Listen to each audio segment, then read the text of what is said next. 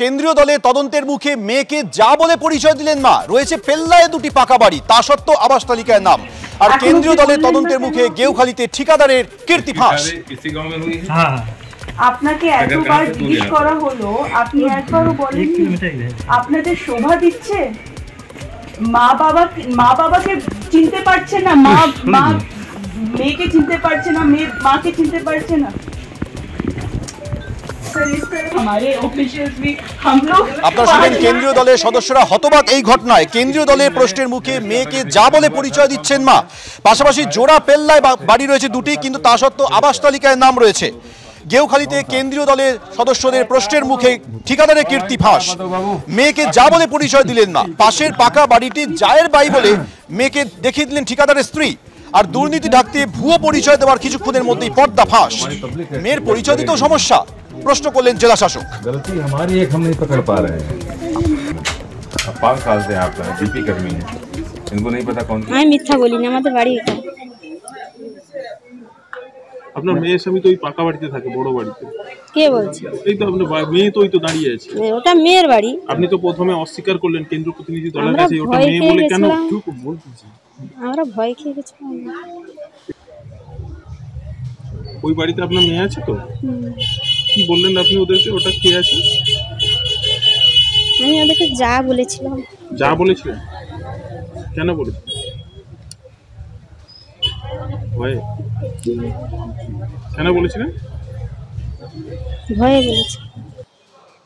আবাস দুর্নীতির অভিযোগের তদন্ত করতে জেলায় জেলায় যাচ্ছেন কেন্দ্রীয় টিম আর গেউখালিতে গিয়ে কেন্দ্রীয় টিমের সদস্যদের প্রশ্নের মুখে এবার মা নিজের মেয়েকে যা বলে পরিচয় দিলেন। দুটি পেল্লায় পাকা বাড়ি রয়েছে। তা সত্ত্বেও তিনি আবাস যোজনার নাম কি করে তুললেন প্রশ্ন ওঠে। আর মেয়েকে দেখিয়ে দিলেন পাশের বাঁকা বাড়িটি তার যায় বাড়ি বলে। এ বিষয়ে বিজেপি রাজ্য বিজেপি মুখপাত্র সমীপ ভট্টাচার্য। কি বলেছেন শোনাব আপনাদের? এটা বুঝতেই পারেনি কেন্দ্রীয় পর্যবেক্ষক দল যেখানে রাজতন্ত্র চলছে। রাজার ইচ্ছায় রাজার যারা অমাত্য উমির ওমরাও থাকে তারা এগুলো করে থাকে। বিজেপি কোনো ধরনের দুর্নীতির সঙ্গে আপোষ করবে না।